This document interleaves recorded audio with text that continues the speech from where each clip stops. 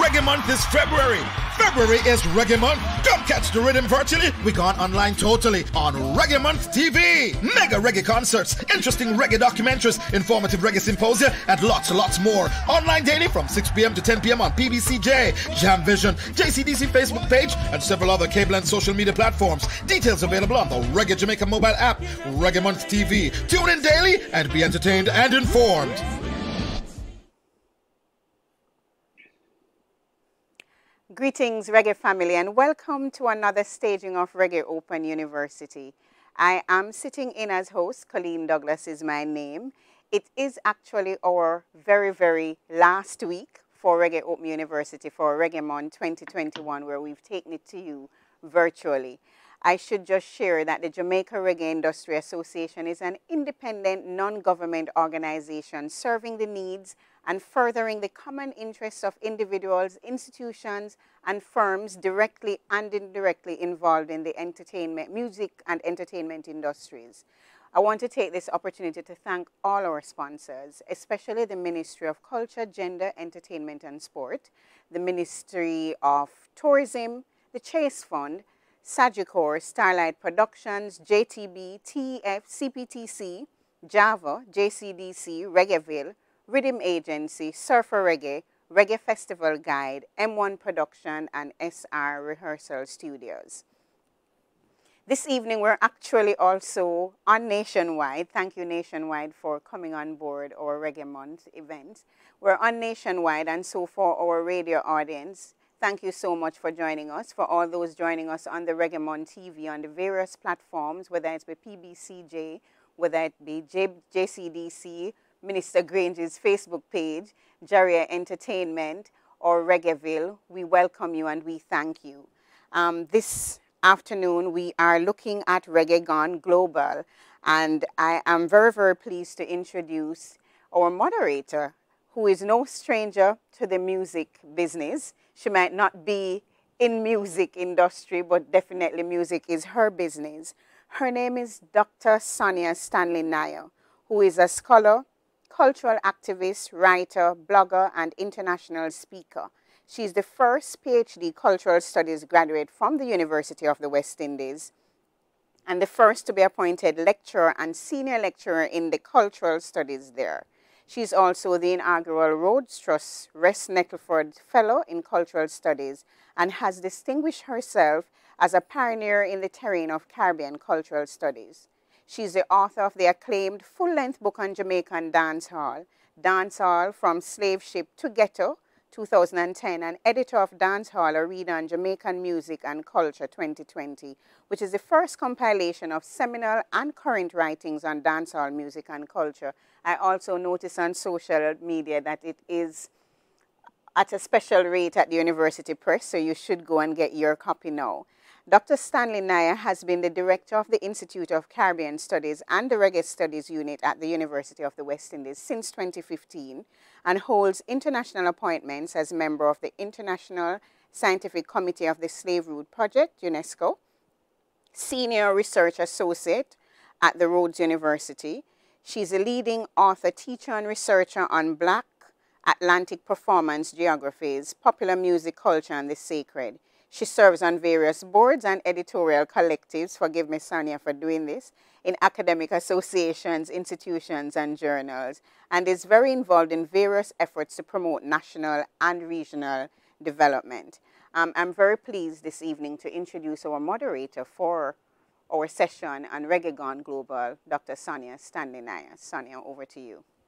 Thank you so much, Colleen, uh, for this introduction it's kind of strange to hear sometimes about yourself. I almost think of it as, you know, the third person. But let me welcome all our, our viewers, our listeners. It is my pleasure to be your moderator this evening. I come to you from the University of the West Indies, but of course, academic institutions are those with walls that need to be torn down.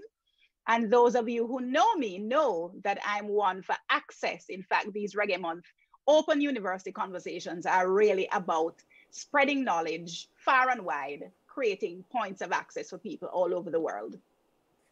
So those of you who know me know that I'm an advocate. I'm a cultural advocate, I'm a cultural activist, and I am very much interested in the business of Jamaican music.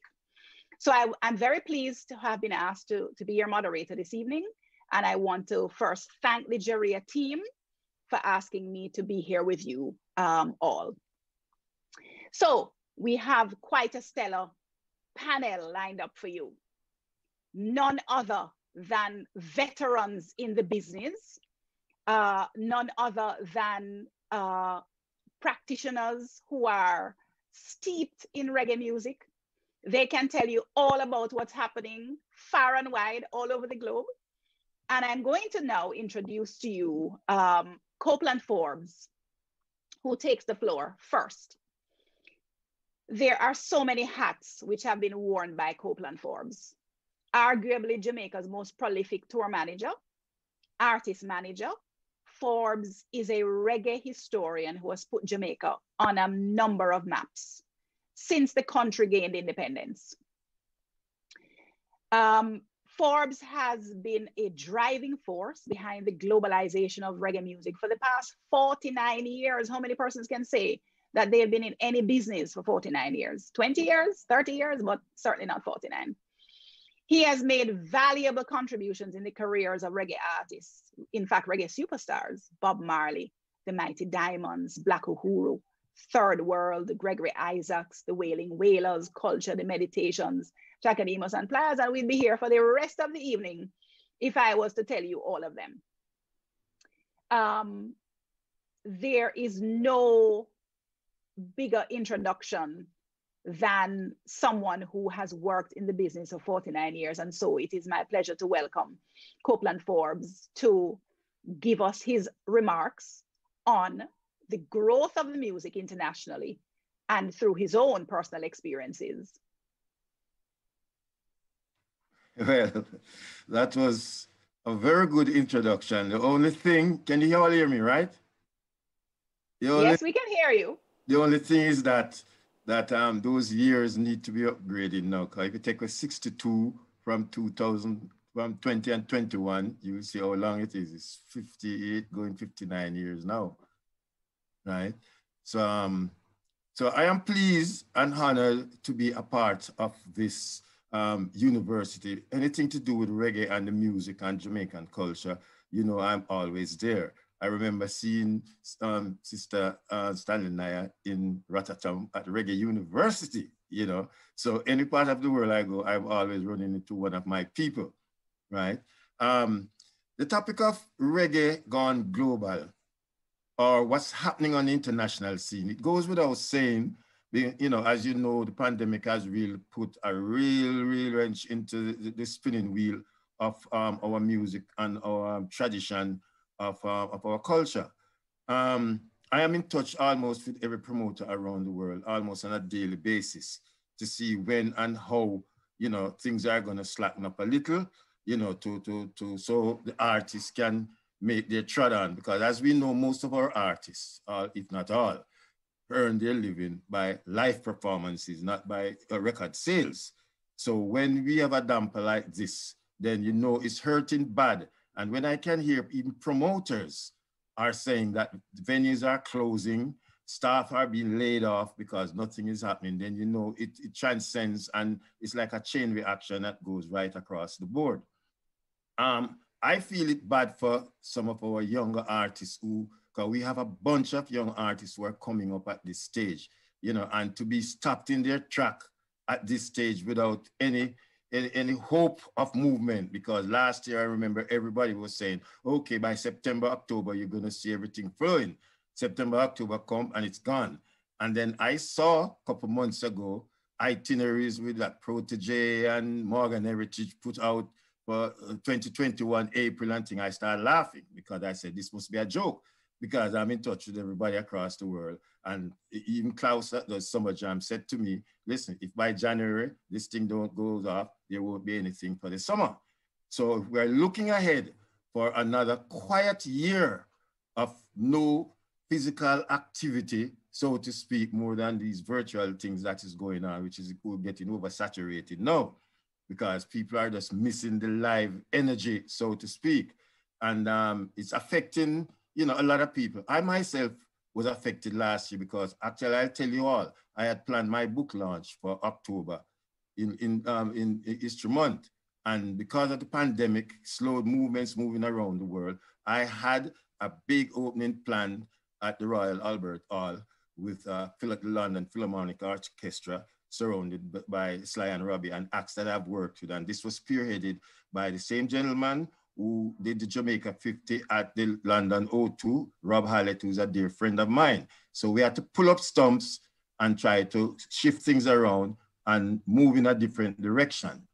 Now, we have planned to do it in April, in spring, right? And as most people may know by now, that I have signed a contract with Downsound Publishing Book Publishers, which is a new arm of Downsound Entertainment. And my book could be the first one that is going to be launched out on the Downsound Entertainment. So I feel honored that at least I have a Jamaican entity that is, is involved and who understands everything about what we are about in music and our culture. Um, I just hope that you know some changes will come about um, within the next couple of months, because as you know, most of these festivals take months to plan, right? And look at Rototom, that goes for one whole week. Now you can't use one month or two months to plan that. And if by next month we don't see something that gives us some light at the end of the tunnel, we know well what is going to happen. I last night I was on the phone with some of my people down in South America, Rafael Costa, he does all the shows in Brazil. Brazil is on a standstill just the same way all that was planned has to be, they had to use the word postponed, you know, because if they say cancel, those people who buy tickets and are holding them, they would have to refund money. So this thing of cancel has been used last year. So it canceled for later in the year and then it canceled for early this year. I don't think we can hear cancellation anymore. Um, not cancellation, they postpone. Postpone, I'm sorry. They've been using postpone all along. But I think we're going to start your cancellation now because you can't postpone four or five times. You know, you must have something in, in, in line up. So I'm just hoping and keeping my fingers crossed that we will have some kind of light at the tunnel because I can tell you, I'm feeling it for some of these young artists, especially those who weren't really getting a lot of jobs out there right? And a whole year went by without anything. Sometimes I wonder how they managed to even survive.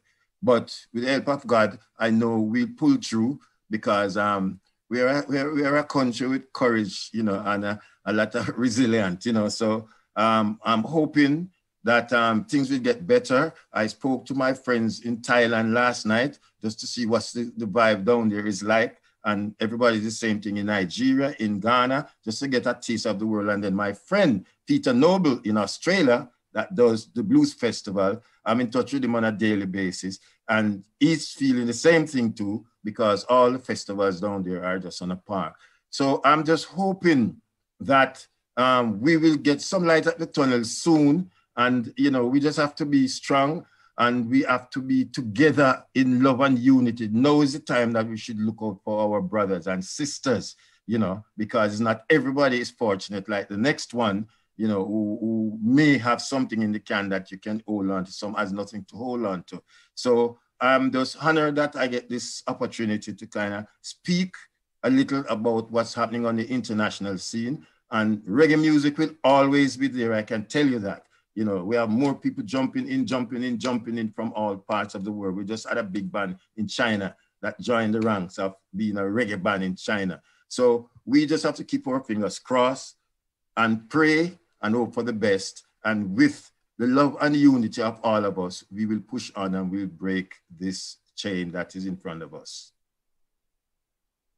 If you're just joining, if you're just joining us, we are at Reggae Open University right here at Reggae Month 2020, Catching the Rhythm virtually. You just heard Mr. Copeland Forbes, who had a reflection somewhat on, on the music industry. Our moderator is Dr. Stanley Niaah. Just want to say hello to our radio audience at Nationwide FM. It is now, um, based on my time, 6.23. And so, Sonjah, I am throwing back at you so that you can continue this program. Thank you so much, Colleen. Uh, you know, Copeland, there are many persons listening who would be quite aware of the effects of COVID 19, but certainly not aware of just how much it has affected so many of our creatives, so many of our um, creative practitioners in the music business. And I know that many of us would have memories of, you know, the days when we were out, out, out in the streets, out on, on flights, out on tour.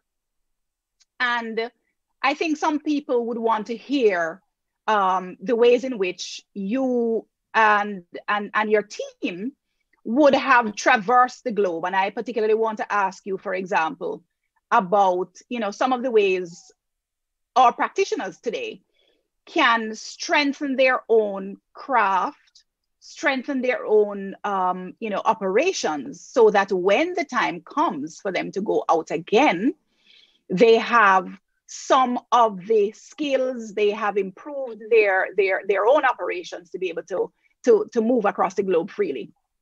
I certainly hope that many persons are not sitting idly by um, waiting for reopening and then um, still with nothing major to be able to carry on the scene. But certainly i want to hear more from you in relation to some of the recommendations you would have for practitioners. So now let me ask Okay, go ahead. Well, let me ask Lily Claire to give her own comments, and I will introduce Lily Claire Bellamy, who holds a BA, LLB, and MA degrees, um, and is a Commonwealth Fellow, as well as currently serving as the Executive Director of the Jamaica Intellectual Property Office. Ms. Bellamy has extensive experience in intellectual property law, health administration and law, environmental, gender, and child development issues.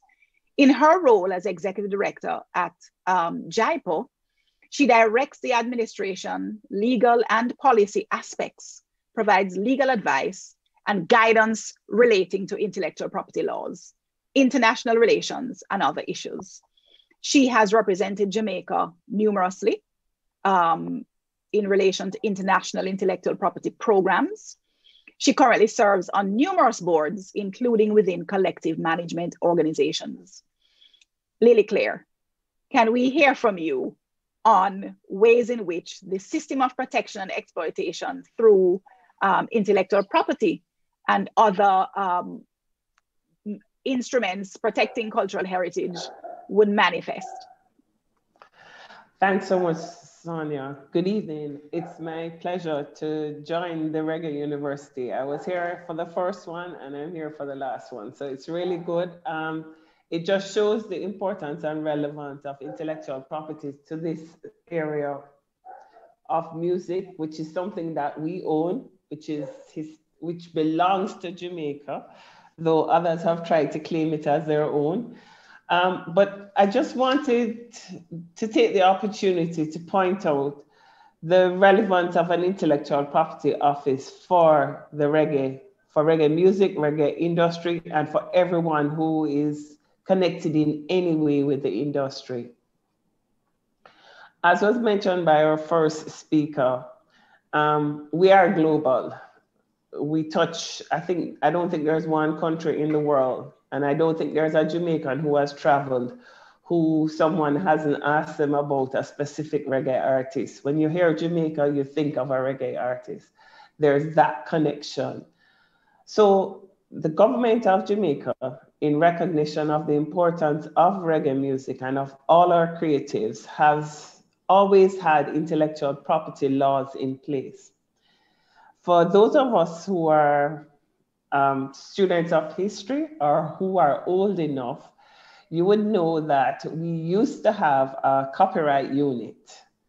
I'm dealing specifically with copyright since we're dealing with music, even though other areas of intellectual property are also relevant.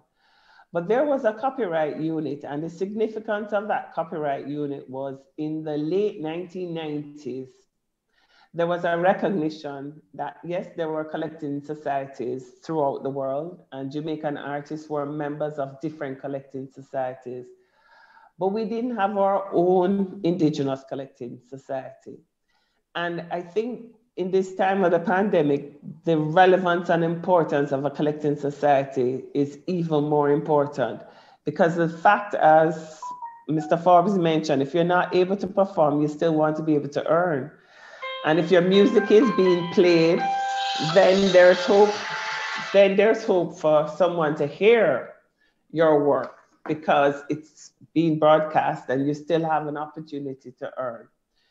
So in the late 1980s, um, the copyright unit was, um, which was then um, seated in the Ministry of Industry, Investment and Commerce, was instrumental in the formation of two of our foundation collecting societies in Jamaica, JACAP and Jam Copy.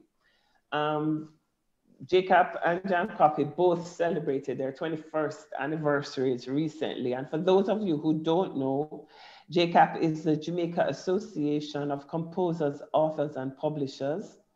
And Jam Copy is the Jamaica Copyright Licensing Agency.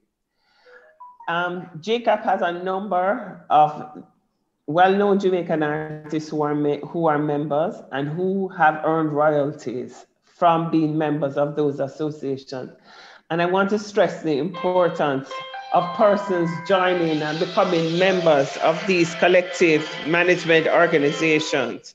Because if you're not a member of a collective management organization, and you're not a member of any of the existing music societies out there, when you fall on hard times, you're on your own.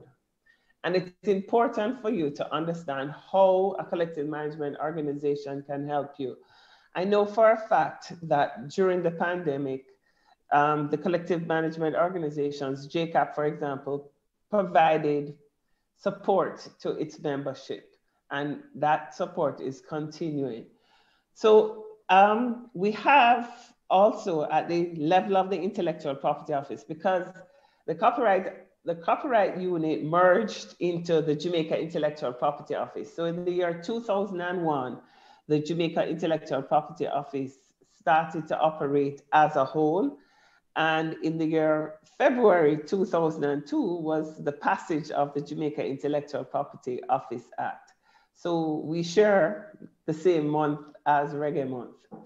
Um, with the passage of the Jamaica Intellectual Property Office Act, that office has responsibility for all intellectual property laws. Historically, there was always when persons called, because under the terms of the Berne Convention, of which Jamaica is a party, copyright is automatic. In the absence of you doing anything, but you've created your work and you've put it in a tangible format. So you've written it down on a piece of paper or a napkin in a restaurant or anything, you've written it on something, because as the inspiration comes to you, you write it on whatever you can find to write it on. That act of writing it down or recording it means that you now have it in a tangible format and your copyright automatically comes into place without you doing anything else. When persons call our office and we say to them, your copyright is automatic once it's in a tangible format, and they're like, you mean there's nothing else that I need to do? So in response to the request from members of the public, we amended the Copyright Act in Jamaica to allow persons to have a, a voluntary registration system. So this is a system where if you have created a work, you can bring it to our office, not the tangible copy, but the soft copy. We'll store it for you and we'll give you a certificate um, that certificate you sign in the presence of a justice of the peace to say that you are the owner or the author of the work. And what that does for you is it gives you something that you can use as evidence to prove that you really produce that work. And our theme today is Reggae Gone Global, and it's significant and important because sometimes persons will say that they are not aware that the work had an owner, or they will say, oh, the work is an orphan work, therefore they're free to use it because it doesn't belong to anybody. And there's one Jamaican who he was quite a prolific producer and had quite a number of works. And an entity in the UK did an advertisement using his work on the pretense that it was an orphan work. Well, he made a visit to the intellectual property office and was able to deposit his works with us. And he was able to say to them, you know, see, here I have a certificate to prove that I am the author of these works. The other thing I'd like to share in terms of, and this is not the remit of the Intellectual Property Office, but actually the remit of the National Library. Each time someone creates a work in Jamaica, I'm going to encourage you to pay a visit to the National Library because under the Legal Deposit Act, you should deposit your works with the National Library because we need to have a record of what we have produced and what we have created. So after we're gone and generations after us will be able to go to the library and to see the work, to be able to write about the work and to tell the story of reggae music. And I know we have an oral tradition, so sometimes we don't like to write. We're in the presence of an author, Dr. Niaah, but some of us don't like to write. So if you even don't want to write, what you could do is take your works to the National Library, deposit them under the Legal Deposit Act. You actually have a mandatory requirement to do that. So I'd encourage persons, and it's worth your while to deposit your work under the Legal Deposit Act, because if you do it in a timely manner, you get money in return for the deposit. So I'd encourage persons to use the Legal Deposit Act and to also come to the Intellectual Property Office um, where we can give you a certificate to show that you have created your work. But I think it's very important for persons also, if you're not aware, to take the time to learn what your rights are under the Copyright Act. And the other thing I'd encourage persons to do is before you sign any contract or get involved in any agreement with anybody, you need to get the services of an attorney at law. And there are intellectual property attorneys in Jamaica who have indicated to our office that they will be willing to assist. So if you get in touch with us at JIPO, we can give you the name of those attorneys because persons always say, oh, they can't afford an attorney. But sometimes it's better to go to an attorney even if you have to borrow money to go to the attorney because your ignorance may result in you signing away 100% of what you have versus paying an attorney 10% or whatever the going rate is. So I'd encourage every single artist because if you if you go back in history and we read the story, you'll hear quite a number of our artists bemoaning the fact that they signed away their rights and they weren't, they didn't know what they were doing.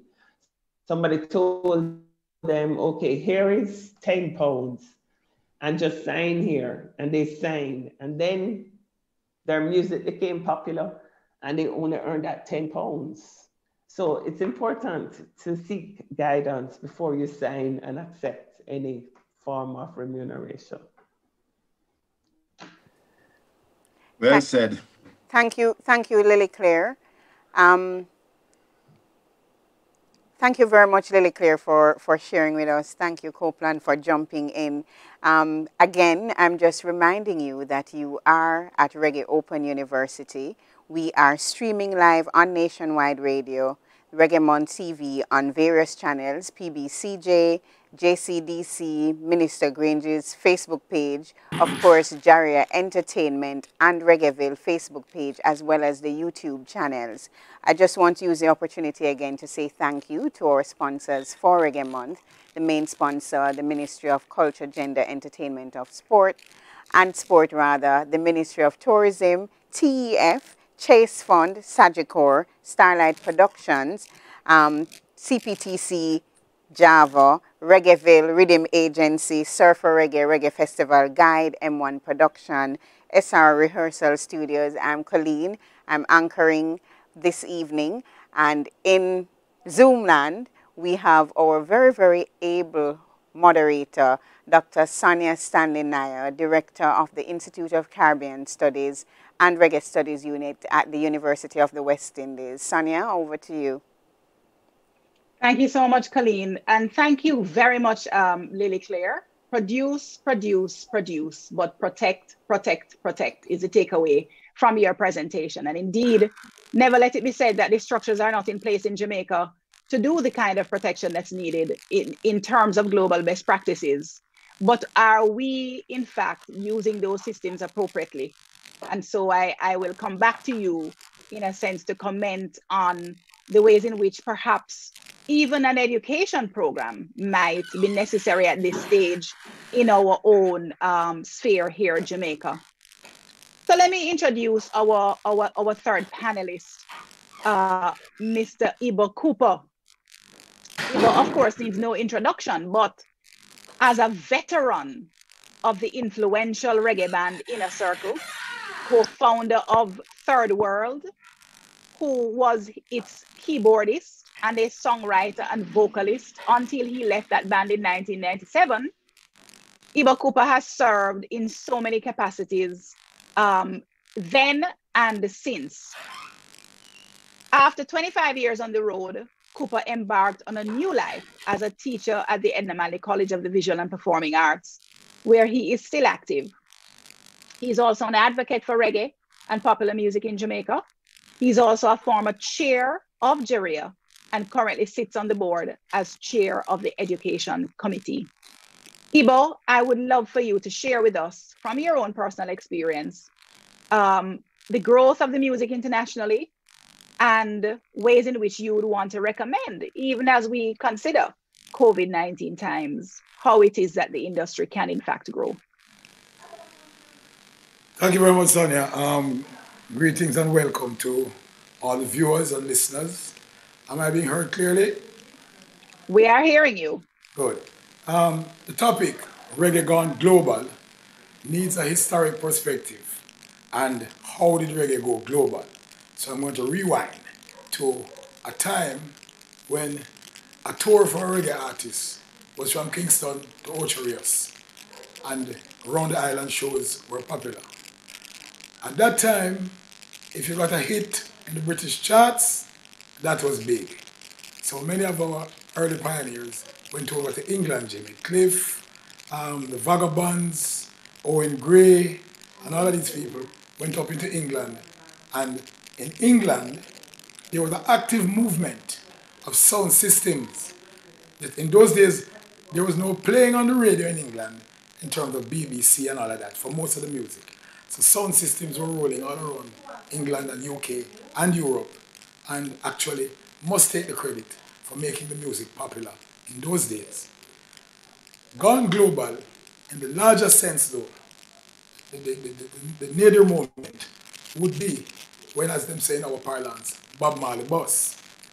And when Bob emerged um, and started to tour as a headline act in the early to mid 70s, I'm going to use Bunny Rugs' phrase from Reggae Ambassador. The little music came from the, the big music came from the little island to the world. And in a personal conversation with me and Bob, because all of us young, you know, want to make it, you know. And so Bob out there, you know, so I said, so Bob, how is, how is it out there on the road? He said, boy, I want to tell you, you know, when I'm waiting backstage to go on, you have some boy playing on them finger fast. And I'm wondering how I can go on after them. But then when we go out there, that rhythm. And so even Bob himself was surprised at the captivating rhythm and how it affected the people around the world in his early tours. Now, there had been influences before that because you had, I can see clearly now, Johnny Nash. You had Bob writing Guava Jelly for the same work, Johnny Nash. So it was creeping out there, but it was now going to recognized in the eyes of the world as the music of resistance, the poor people music, the music of struggle. And it transcended the language barrier and also now made us, the rest of the musicians and, and, and bands, who was, uh, our scope was Kingston to Ochi, we now started to move overseas, not just to the Jamaican communities, but to other communities in colleges, in the UK and so on. So that is really how the thing go global. And having gone global, it changed the actual definition of reggae. Because we had ska, then we had rocksteady, and reggae was the next genre. But right around that period, with Bob's explosion to the world, the world then started to see reggae as everyone who came out of Jamaica. And so eventually, the child became the parent, so to speak. And reggae became the definition of everything from Jamaica. So on the reggae shelf, you would see ska, mento, and things that came before it. When we went out there, you know, in that, in that period, that early period, Tower Records and these companies were the big companies. There was no such thing as a reggae shelf yet. You see what I'm saying? You couldn't go to the shelf and buy a shelf dedicated to reggae music. So it started to grow with Bob and Peter and Bunny as the Wailers, making that first significant album that was considered the first concept album, and that was Catch a Fire. Um, again, I said before that, you had Millie Small, big hit across the world, but this was significant. This took it to every corner and crevice. And I want to pick up on something that Copeland said, because after that, we used to assume that everybody across the world knows reggae because you know it started to spread Babylon by bus and everybody touring all over the place. But when JaRIA sent a group to Shanghai in the beginning of the JaRIA days, they were surprised because in China, Bob was not that well known. So what Copeland said a while ago is significant because for us to know our Chinese reggae band is also significant. And people keep mixing up Japan and China. Japan had embraced the music earlier. Now, touching on what Lilyclaire, to bring Lilyclaire um, um, testimony into the mix, you have to also look at in the early days, if we're honest, we did not have the collection societies yet. It was PRS from England. And if we're honest, we, most of us did not understand intellectual property properly. And so many people suffered and many artists made their music and did not know what was to be collected and how the ownership rights were to be distributed. We suffered from that for a long time certain amendments were made to the copyright law and institutions like JIPO were set up and JACAP and JAMS. And I will tell you of a story, for example. Rivers of Babylon, Brent Dowe, sold 3 million copies in Germany, done by Boney M. And if I was to start to tell you the confusion that it caused about who owned the rights, okay? And similarly, when John Holt's Tide is High was done by Blondie, right? The original recording says Paragons after it became popular. I don't want to speak evil of the dead, but the reality is that the lead singer said, no, it's my tune. So we had a lot of mix-up when it came to intellectual property. So everything you heard this evening is relevant in the reggae gone global. But I wanted to give you the perspective of the early days, how reggae, reggae went global. Uh, unfortunately, one of our panelists could not come this evening because he was supposed to tell us about reggae going global now to influence the dance world, in the, in the, especially in the dancehall era. And now, reggae dance and dancehall is not only taught all over the world, but we now have festivals and contests that are patterned from what we did here in Jamaica. Let us face it, Rototom never even take out the sunsplash out of the. It is called the Rototom Sunsplash, and it's a straight pattern of our sunsplash. Because I've heard people who go away and did not know about sunsplash and say, boy, look what the foreigner them doing our thing. No, they copied our thing. I want to make that statement. So when you talk about reggae gone global, that is what I want to say about it. And finally, I want to say that on the very first tour that Bob Marley made, as an opening act now, Bob and the Wailers, as an, sorry, as a headline act, on the England leg, that was the real breaking point for Third World. Because we just signed with Island Records, and Island Records put us on as the opening act for the whole of the UK leg of that tour. We played the Lyceum in London, the Hard Rock in Manchester, and the Academy in Brixton four gigs opening for Bob, and earned us the cover story in what was the biggest tabloid in Britain at the time. Melody Maker, Copeland knows Melody Maker quite well. When you make Melody Maker cover in England, it's like you make a Rolling Stones cover. So that was good for a band that just come out of Jamaica, don't reach nowhere yet. You see? So that is how reggae got global. I will leave it at that and we can take it up from there. Give thanks, Ibo. Thanks very much. That was Michael Ibo Cooper um, Kingsley Ibo Cooper, sharing with us about Reggae Gone Global. If you're just joining us, you're listening to Reggae Open University right here on Nationwide Radio, as well as JaRIA Reggae Month TV, rather, on various platforms, PBCJ, JCDC, Minister Grange's Facebook page, JaRIA Entertainment on Facebook, as well as JaRIA Entertainment on YouTube, Reggaeville on Facebook, as well as Reggaeville on YouTube.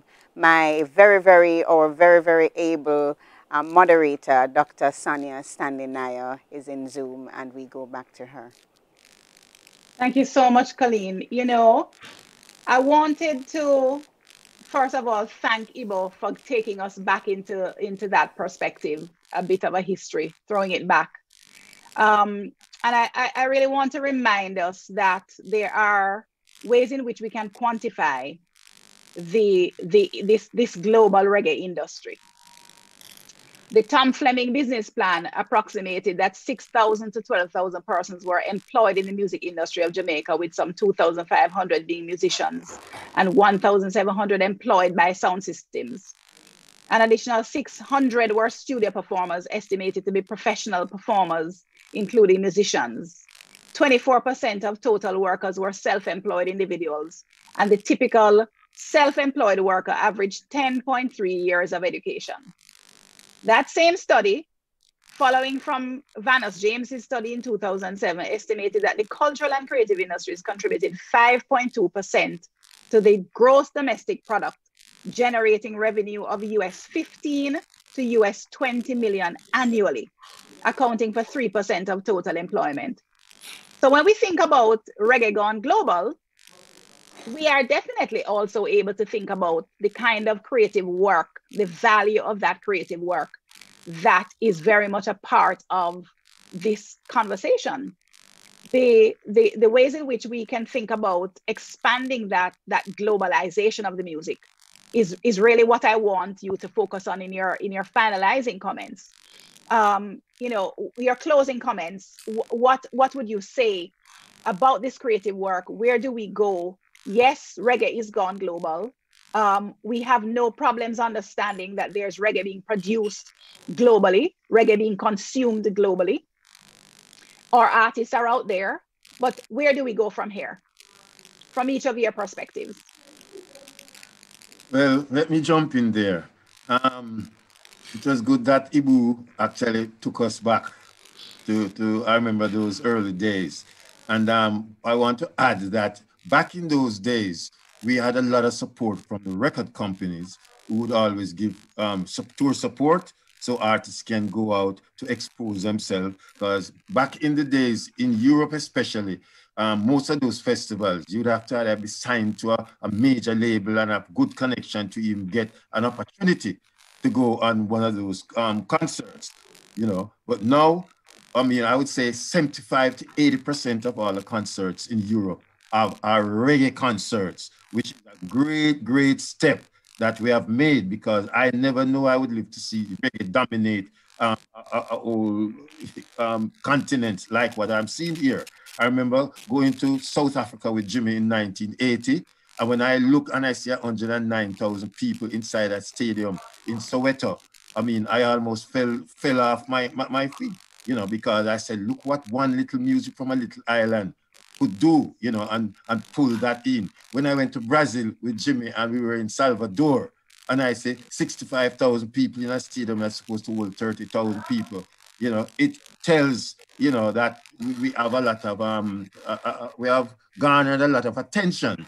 Now, um, the fact that we have reached that level, right? Um, and the music, when you have a music where everybody wants to sound like you, look like you, talk like you, walk like you, dress like you. I mean, red, gold, and green has gone all over the world now, and it's through the power of reggae music and Rastafari that it has really transcended to that stage. To see Louis Vuitton have it upside down, you know, and everybody making a big squabble about it and so on. But um, we have to more put uh, um, some more emphasis on the education right, of the business aspect of the business because most of our artists don't really understand um, the business aspect of the business. When when the, the lady spoke about the, the, the, copyright and all them things, them don't know anything. The other day I was watching a commercial in Florida. Oh, it's another scotcher. Is the tenors wrote it? One of them tenors are dead.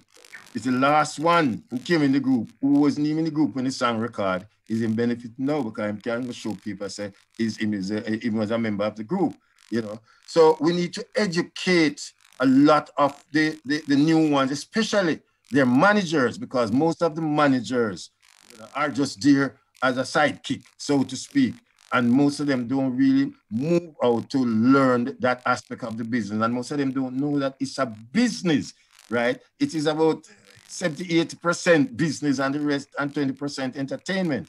So you need to get that out because you can't have a bunch of people going out um, performing on stage and have no education about the music. What I hate is when I hear a foreigner can't tell us more about our music and the personnel inside of it, much more, much more than people who in Jamaica. So let's put a little accent on the educating our, our, our players in the industry so even though we can go to do live stage performance, there can be an ongoing educational um, system going on to wider that when we get back on the road, we know how to do everything. Every time you see them give them a paper when they do a concert in Europe, and they say, fill out the form, a man ask me, what do you mean by arranger? What do you mean by, um, you know, the writer? How will write the tune and sing it? You know, I've seen that happen a lot of time. So let's put some emphasis on education so we are ready when the thing comes back uh, uh, in a live form. And we can just keep moving forward, forward, forward, and just, we just conquer the world because,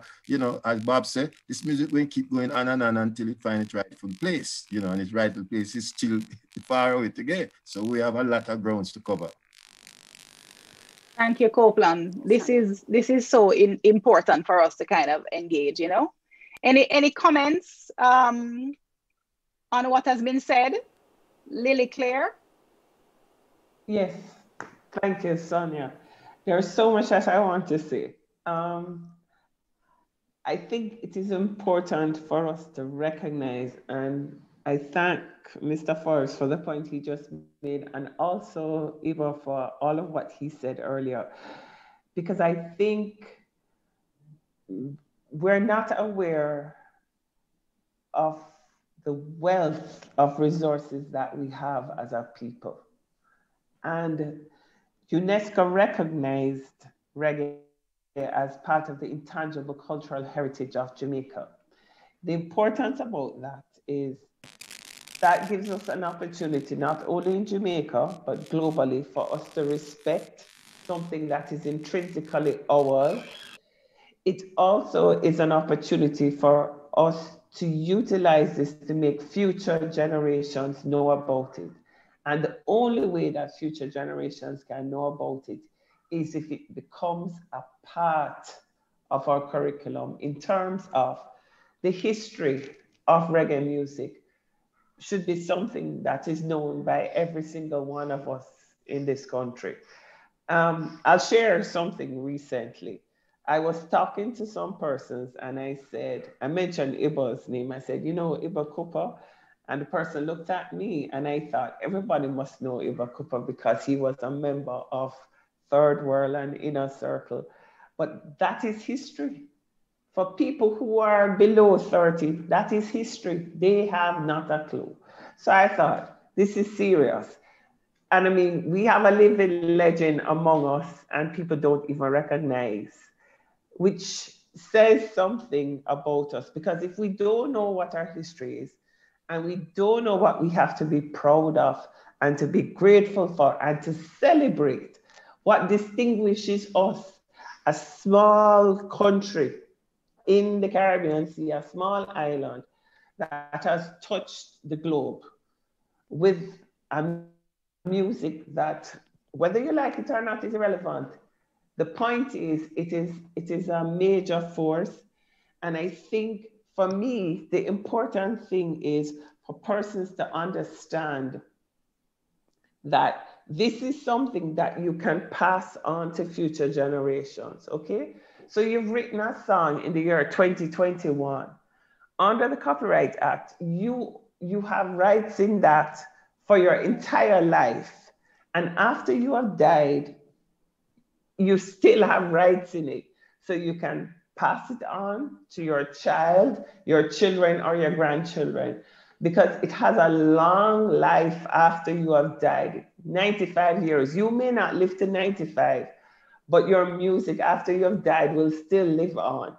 So the important thing for persons, what, what I want people to understand is that this is wealth, irrespective, and wealth does not necessarily mean monetary wealth, okay? It is wealth at several levels, but it is also something that you can pass on to future generations. And I know we don't like to talk about wills in Jamaica. It's part of our culture that you think if you do a will, it means you're going to die. But no, what it does is it's you speaking from the grave about what you want to be done with what you earned while you were alive. So it's important for you to have that will. Because if you don't have the will, somebody else is going to decide who should benefit from your work. So it's important for you to document who you want to benefit from your work. The other thing I would say to persons is if you're in the industry and you want to have a, a, a, a, a conversation about how the Copyright Act can help you, you can come to the Intellectual Property Office. We can give you the information we have a number of webinars that we conduct so that people become aware of what their rights are. Because it's also important for people who use the work to understand that they also have an obligation. Our music couldn't have gone global if people didn't take an interest in it. Sometimes the interest was, okay, sometimes the interest wasn't um, to the benefit of the creator but there was still an interest and that helped to that helped to disseminate the message of our reggae music. Now we have an opportunity to become more informed. There are collecting societies in Jamaica that can assist you, which I would encourage every single person who is in, in the industry to become a member of. Um, they all have websites. There's JACAP, there's JAMS, there's JAMCOPY. You can go online. If you call the Intellectual Property Office, we can give you information about where to find them. But, but you need to treat the reggae music as an industry because that's what it is. And one other point I want to make, Reggae Month falls under the Ministry of Culture, Gender, Entertainment and Sports because it is a part of our culture. But internationally, intellectual property falls where? The World Trade Organization has an international agreement dealing with intellectual property. Why? Because there is a recognition that culture and creativity is a part, an integral part of trade. Trade is, I mean, trade is what people go to, people fight about. So it's something that is important, and I would encourage persons to not take it lightly. This is something, this is something that you have invested your time in and your money, and it is something that you should treasure. You know, Lilyclaire, as you were talking, it made me reflect on some of the research that I've done on, on just being able to situate how far we're coming from and, and to throw back in the way that, you know, um, Ibo allowed us to, to do earlier. I, I want to, I want to, you know, entreat our, our, our listeners and our viewers to some of the data. When you think about reggae as revolutionary music, reggae's pilgrims or musicians going across the globe you know, use if we could even use Babylon by bus as as one of the, the, the metaphorical representations of how it is our our stars, our superstars have traveled. It's really about a revolutionary pilgrimage. And there is a way in which we have to situate that looking at where we're coming from. How many of us know that there was a prohibition on drums and horns in Jamaica from as early as 1688, which was amended in 1717. There are similar um, legislative instruments, acts passed in the island of Barbados. Law against drums and horns, 1699. Law banning communication by horns and drums in St. Kitts, 1711 and you, you're coming along all this time and you're you're you're looking at the ways in which so many things were put in our way to be able to reach where it is we have reached now to have a globally recognized music. Let's not be let's not be fooled here. And i know that those of you who are our panelists you know but our audience members sometimes don't know the kinds of struggles that we have had in terms of reggae reaching this global platform. So we don't need to be playing around with it. We need to be very clear about what are the systems, what are the systems to protect, ways in which we must produce, register what it is that's being produced, and also look to, to hone our craft in a business-like way um, with the standards and the global best practices clearly in mind that we're going to be able to move through our our our, our industry and to build that industry. So any comments? Um ibo? Before before we go to comments um dr Niaah i just wanted to to remind our listeners in radio and yes it is exactly four minutes past seven o'clock. Thank you for those tuning in on nationwide radio and for those tuning in through the various platforms on Reggae TV. You are listening to Reggae Open University. We are discussing Reggae Gone Global. Our panelists are Ibo Cooper, Copeland Forbes, Lilyclaire Bellamy, and our moderator, Dr. Sonjah Stanley Niaah, who was just asking um, comments or inviting comments rather from our panelists on, on how reggae is going global. Back to you, Sonjah, in Zoom. Thank you so much, Colleen.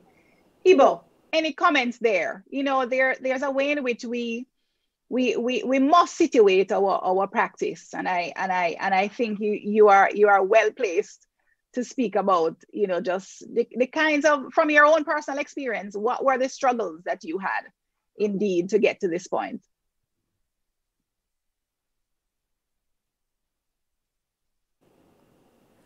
Sorry, I forgot to unmute. Yes. Um, reggae gone global, I covered into how it happened, what made it go global. Now, reggae going global and continuing global, I want to cover now in this context.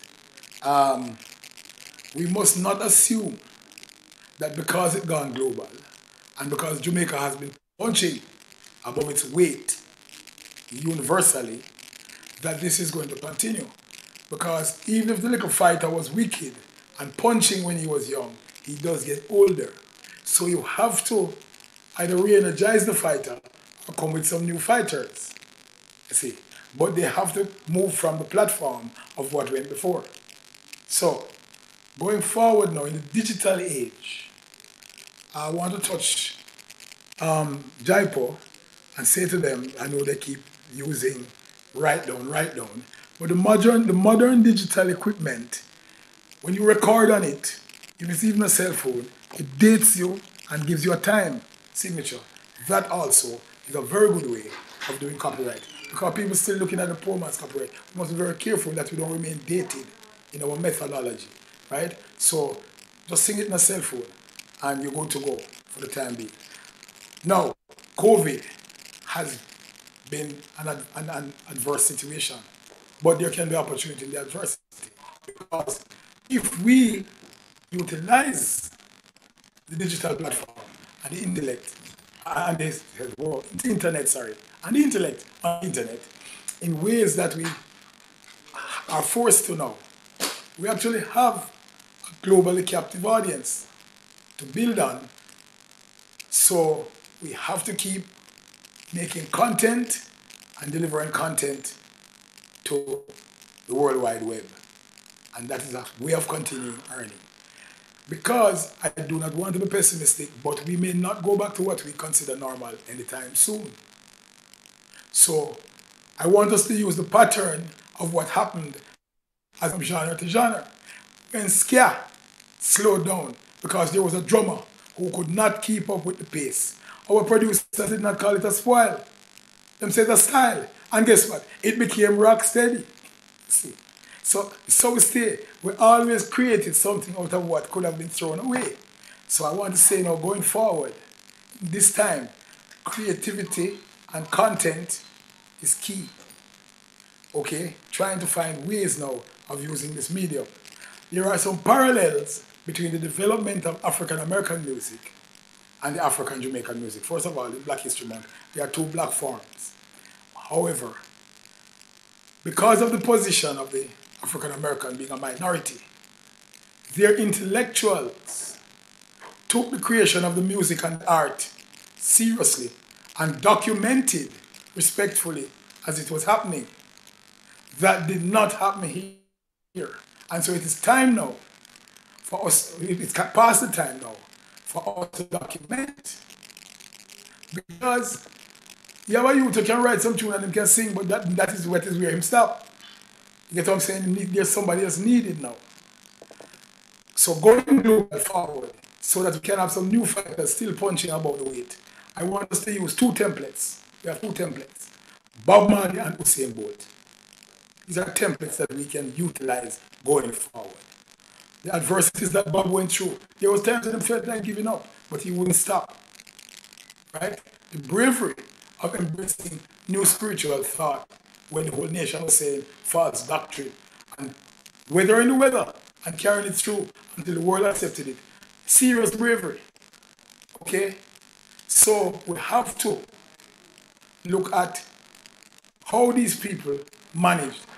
Another pioneer that I want to quote is Chris Blackwell. Blackwell says a good idea without financing is just a good idea.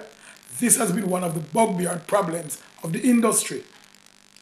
People have been scared to come on board when it comes to the art that comes from the working class. I'm sorry if people are offended, but that's so it goes. Right? Yet recently again, African Americans have been able to use their intellectual property and their catalog as collateral. I don't know if our bank's that brave. You see? So, sorry to be provoking, but reggae gone global, how we want to keep it going global, those are some of the things I want to show in here. Thank you so much, Ibo. You're so right. There's no guarantee that reggae will stay global. So we need to be able to put our, our business in order. I, I think there are a couple of questions. Um, let me throw to um, Colleen for any questions that may have come in. Thank you so much, Sonjah. I want to actually share Reggaeville YouTube has been lighting up. They're saying, thank you for this presentation. Love reggae music out of Brazil.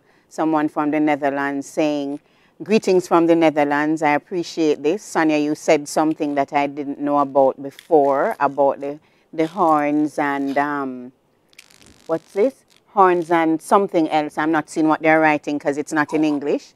Horns um, and drums. Horns and drums being being prohibited. And, Colleen, and Colleen, if I may interject, right here in Jamaica, Jonkonnu too, they're banned Jonkonnu. Okay, thanks, Ibo. Um, just want to quickly, Sharon Bentley on the JaRIA's Facebook page is speaking, picking up on something very true. 90% business and 10% music. Is there any truth to that, Dr. Sonjah Niaah and panelists? So I go back to you, Sonjah, to see if we can address that particular um, query. Is it 90% um, business and 10% music? If I may jump in there, Copeland said it like that, but I differ a bit because I am always going to defend the ore, the raw material, the creativity, the intellectual property. That's where it comes from. So I'm saying that the little guy under the tree with him guitar, he's not worthless, or to use a Jamaican phrase, worthless. And in many families, that's what they consider him. That is the essence. That is what is going to become a WAV file. That is what is going to eventually go to iTunes. So we have to protect that person because that person has a particular inspired skill. However, where the business comes in, and it's a large percentage, I don't want to actually put that percentage, is for them to earn the value added and for them to benefit from their creativity. Of course, intellectual property protection and management and um, investment is key. Can, can I just add something? Please uh, jump in, Lilyclaire. Okay, if I mention something in his, not just now, but previously, when he spoke about the recognition of the value of the intellectual property, and whether a bank would accept it as collateral. So the government of Jamaica, through the Intellectual Property Office, recognized that that is an issue. Banks being willing to lend on the strength of intellectual property. So we're actually in the middle of a project with the Inter-American Development Bank and the Caribbean Development Bank to find a way basically what we're hoping to come up with is a formula that can be utilized. So you have a repertoire of 10 works and um, this is me breaking it down very basically. I don't know if this will be the result, but you have 10 works and there would be a formula that says, okay, the value of that 10 work is $10 million. So the bank can hold those 10 works as the collateral. You know, when you go to, for example, perhaps if you're purchasing a house, then the house becomes the collateral that the bank holds while you pay off the mortgage in the same way. So you would give them your works, and that is what they would hold to be able to give you the money. It's it's a different way of seeing the world, but it is our reality. We're creative people, so we need to find a way that our financial institutions will recognize this is what we create. This is our intellectual property. How can we value it and use it so that we can put our children through schools, we can put food on the table. And the other thing I just wanted to say, because yes, I always speak about writing down, but it is in a tangible format. If the work yeah. is in any tangible format, the copyright comes into effect. The the issue though is with the poor man's copyright, and that is when we're looking at it from a strict legal point of view, we need to be able to prove. And so the poor man's copyright is used as evidence, yeah. which is what we're hoping now with our voluntary registration system, which we have at the Intellectual Property Office. If you have that certificate, that can also be used as evidence. And remember, I said we actually don't take the written copy at the IP office, we take the digital format.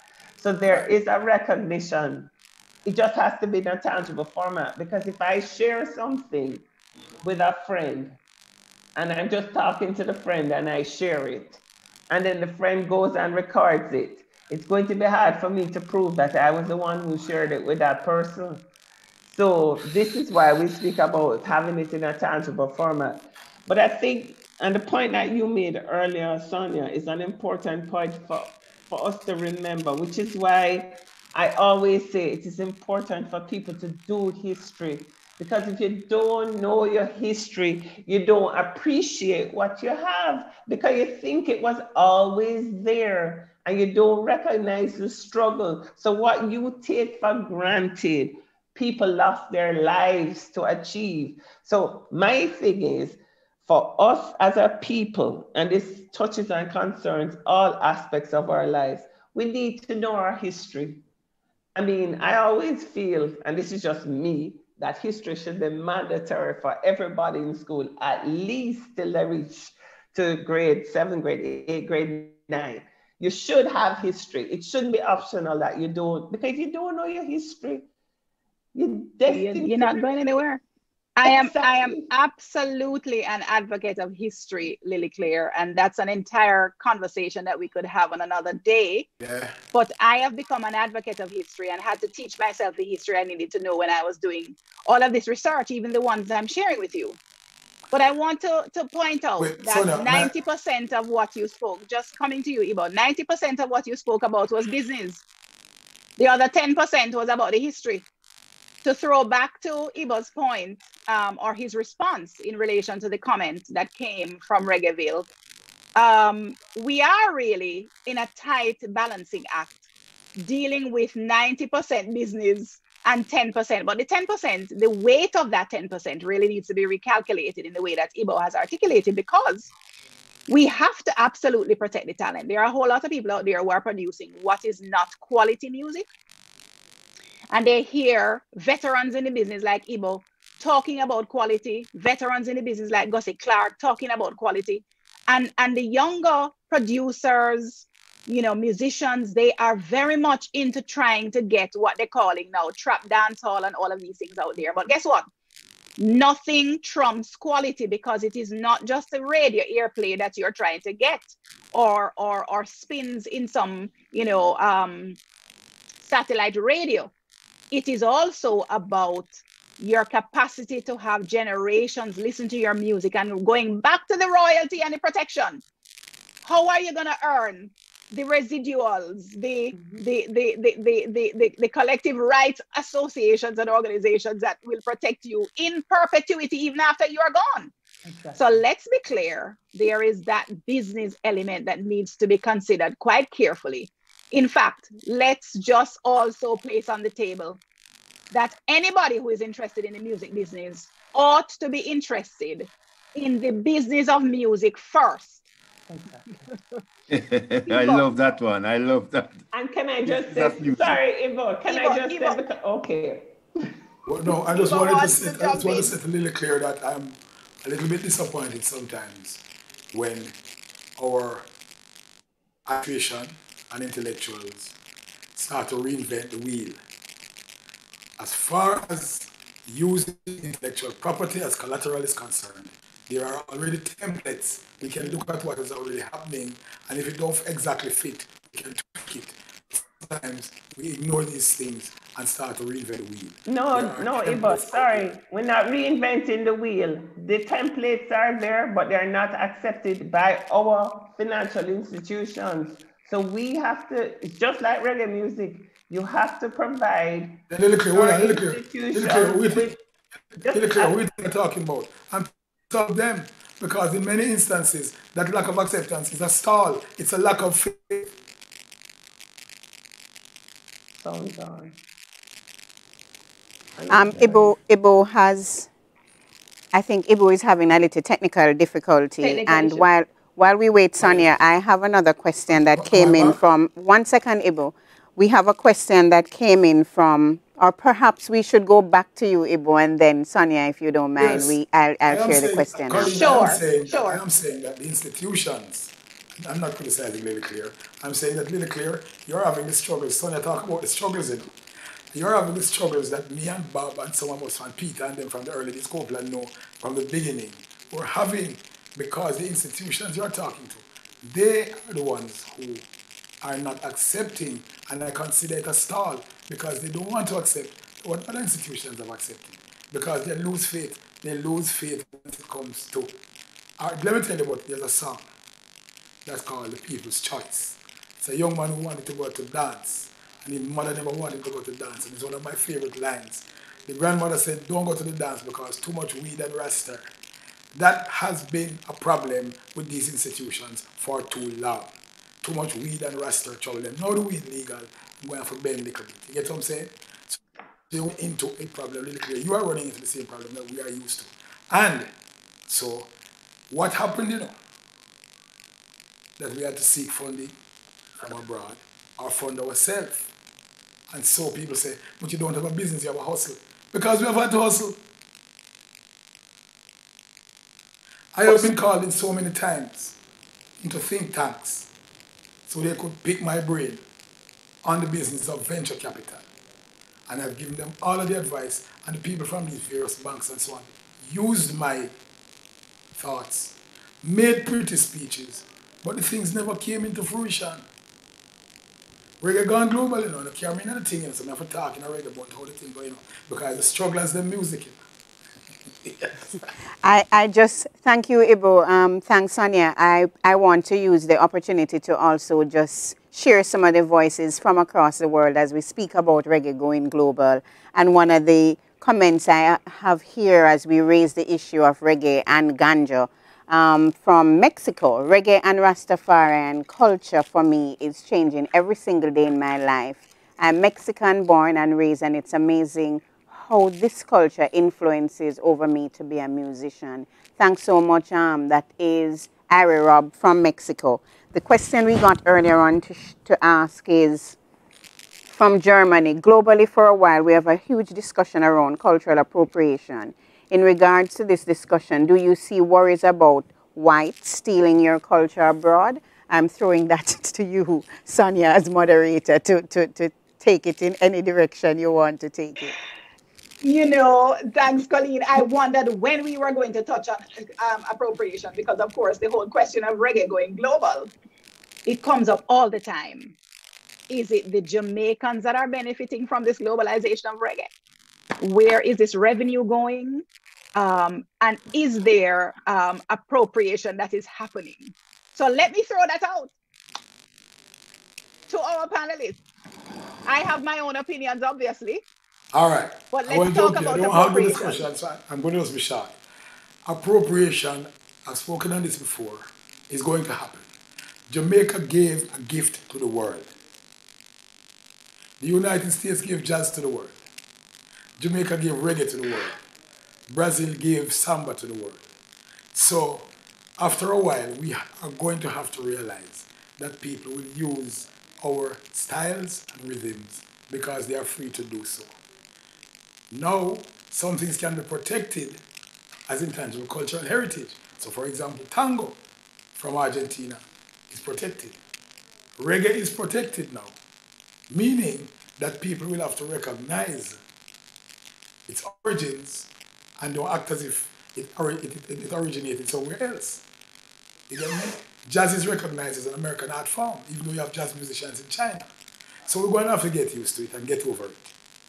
So. Ibo, you brought us back to the 90% business because this business also is about the ways in which licensing, protection allows for appropriation in a way that is legal. There are ways in which creative works can be licensed for use. And I invite our listeners and our viewers, Google Murder She Wrote. There are so many, I mean, it's one of the most sampled of, of, of rhythms. That Murder She Wrote rhythm is very much out there being used by other creators, but I am sure that the royalties are going somewhere. So let's talk about that 90% business in this music business. That's not appropriation, okay. that is piracy and robbery. okay. All right, but Sonjah, back to the point that you made earlier. You had mentioned something about the business of music. And I'm going to encourage everyone who is listening to visit the World Intellectual Property Organization website. So that's double IPO.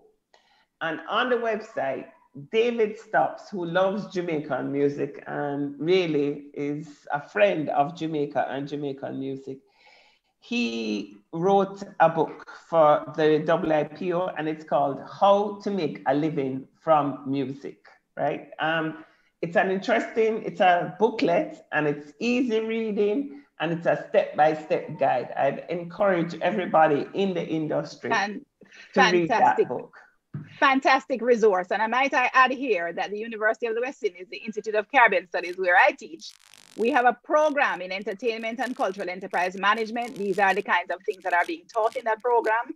I encourage everybody educate yourselves by whatever means necessary.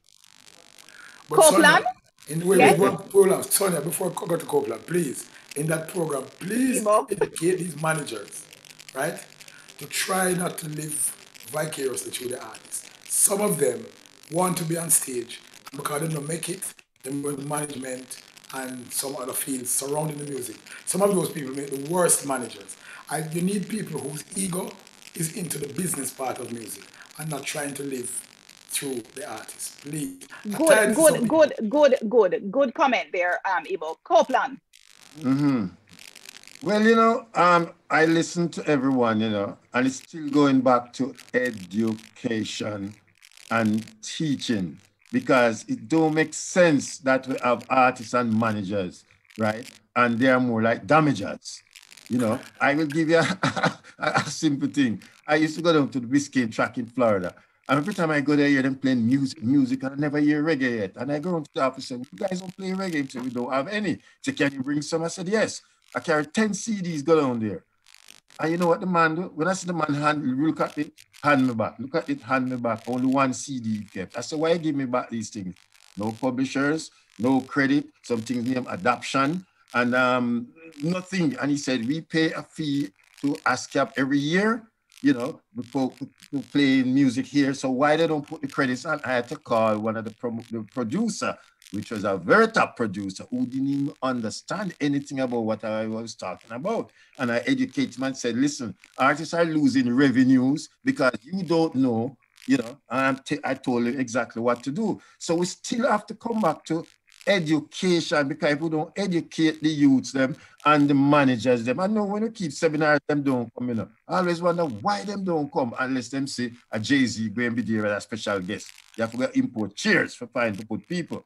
But when it's something to educate them about the business that they are in, they don't really show up. So we have to put a little more emphasis on educating you know, our people you know, and the players and people involved. So we can have, we can just transcend. And it's my book that I have coming out now, you know, Reggae My Life is. It's like saying my life is reggae. It's not just a book about me, you know, it's lots of education is inside there that people can learn from. I, I, I have in there some of the mistakes that a lot of artists has made over the years that I witnessed and was around and see. So people can avoid those and then learn the, the right way how you go about you know, doing a tour, doing a contract, obligated to, to, to, to your obligations to go do PR work. I remember when Sean Paul just burst, I used to book him up almost every weekend. We're going, boss, if I go Boston, we're going to, we're going to a PA, a PA. One tune, him fly all the way to Boston to go do one tune for a radio station, free. How many artists are going to do that? Him going to say, he can't get the money, he can't bother with it. So we have to educate them to you know, the value of what they have, because I don't think them realize the value of what they have, you know, and they keep looking that, you know, there will be another tomorrow and there will be another tomorrow and the next tune will come. So once we put some emphasis on that, and I'm willing to give my service to educate and teach. I wish every month I could go up a UA. Listen to this, that, Dr. Stanley Niaah.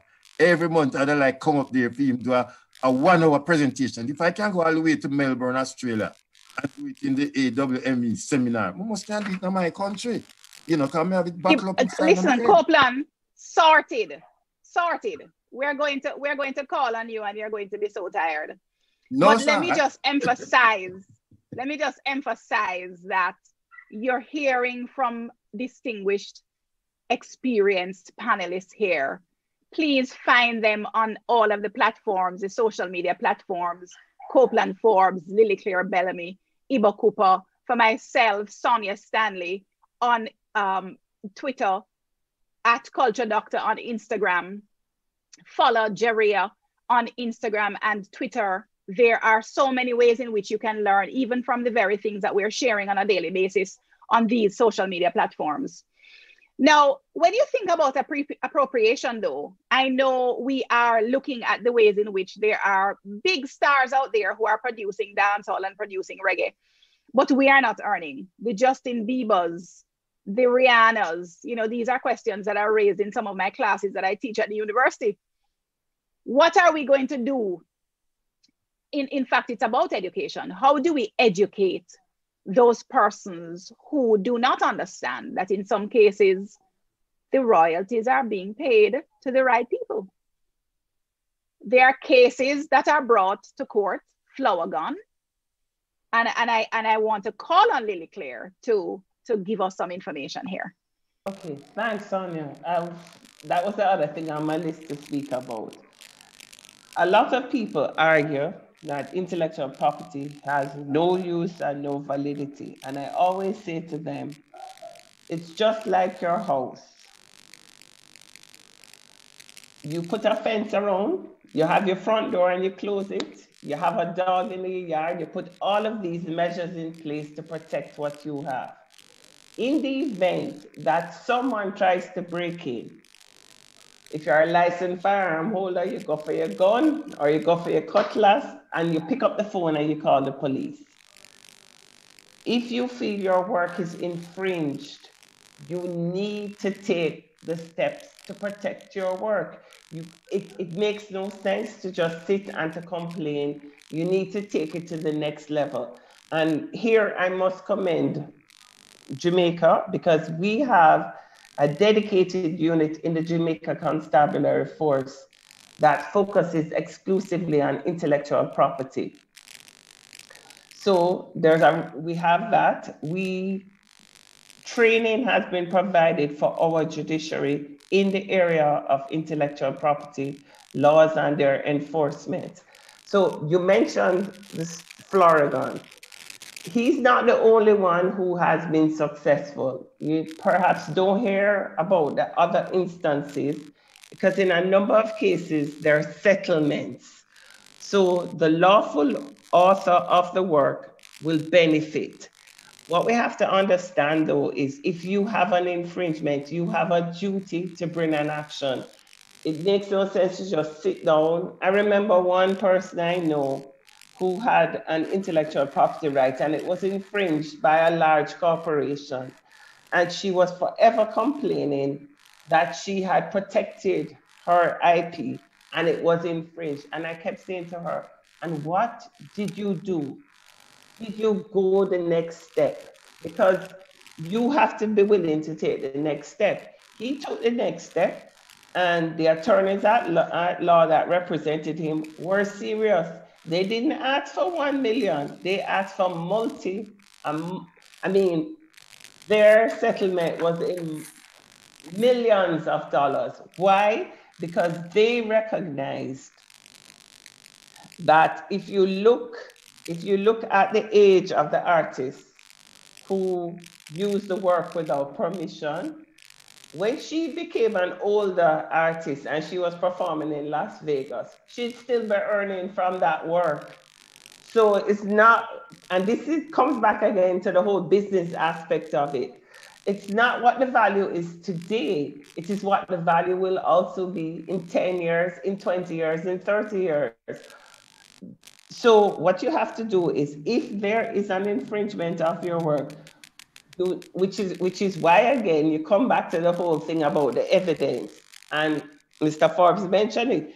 You need to give the proper attribution. People need to know that Sonjah Stanley wrote the song. Ibo Cooper sang the song. It was produced by Copeland Forbes.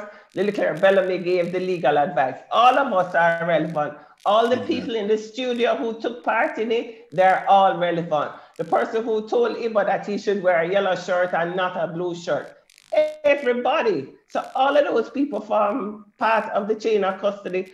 All of those people need to benefit. So it's important to ensure that you document who did what on the work because somebody may come in with one word, okay, or one line and if the song is a multi-million dollar selling song, that person with that one line or that one word is still going to earn from the royalties. And if the work is infringed, you need to recognize that the work has value. Do not ask for $10, ask for $10,000. You must, you, and again, this comes back to history. You must recognize your worth and your value. So when somebody infringes your work, if it had no value, they wouldn't use it. That's the first thing you need to understand. If it had no value, they wouldn't want it. So the fact that it has value and it has been infringed, make sure you get an intellectual property attorney, somebody who knows and can argue your case for you and get you what you're entitled to. You've been listening to the voice of Lilyclaire Bellamy, who is the executive director of the Jamaica Intellectual Property um, um, Organization, right here on Reggae Open University, one of JaRIA's signature events that we share on the Reggae, Reggae General University platform. Um, you've also been listening to Mr. Ibo Cooper, who is a lecturer at the Edna Manley College of the Visual and Performing Arts and former member of Third World. You've been listening to Copeland Forbes, tour manager, artist manager, and our moderator, Dr. Stanley, Son, Dr. Sonjah Stanley Niaah, who is the director of the Institute of Caribbean Studies and Reggae Studies Unit at the University of the West Indies. We are, for those in radio, it is 7.37 p.m. Thank you so much nationwide for sharing with us. And for those of you in Radioland, thanks so much for staying with us. Um, we're streaming live as well on Reggae TV through JaRIA Entertainment, both Facebook and YouTube.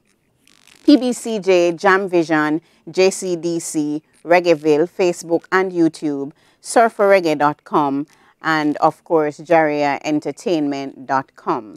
Um, Sonjah, I throw back to you. Thank you, Colleen. So, Lilyclaire, it is very, it is very clear that reggae is not a hustle. Music is not a hustle. It's a business. It is something that requires grounding and education and standards in, in terms of moving any product forward. Now, you know, we we talk about this music because it, it's our own music. We love it. There are lots of people here who have been vibing, just you know, interested in hearing their their their work on radio. But indeed, we have to shift the culture.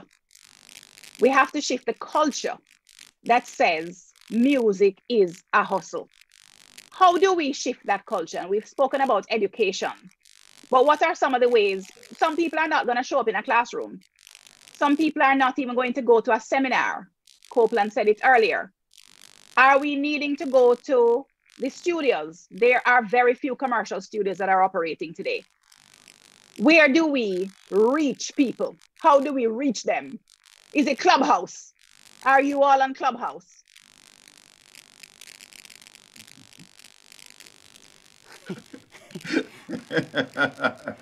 well, that was thrown to us. I, I went to jump in, Sonjah. How, how we do it at the Intellectual Property Office, we go to the schools. Well, before COVID, but now even with COVID, we have virtual meetings with the schools because we believe it is important from your in school to get the information. So we go to primary schools because we think it is important. And in fact, in April, when we recognize Intellectual Property Day, we we had last year an essay competition where we had it was from primary school to the tertiary level where persons had an opportunity to write essays about intellectual property law and we had children from as young as seven who submitted essays because we believe that it is important to start with the children because sometimes those who need it most don't recognize that they need it. So we figure if you bend the tree when it's young, when it's old, it will have gotten the information.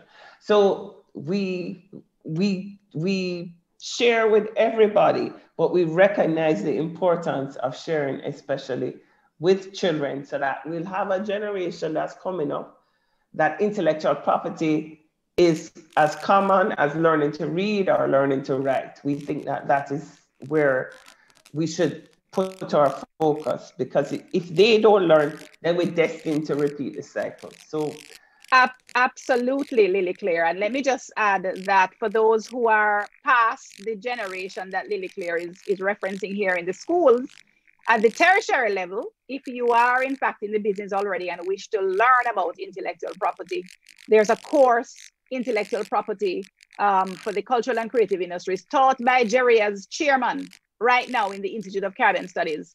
You can feel free to either audit that course, sign up as a specially admitted student, um, come in. We will try to accommodate you in terms of getting your your your education going.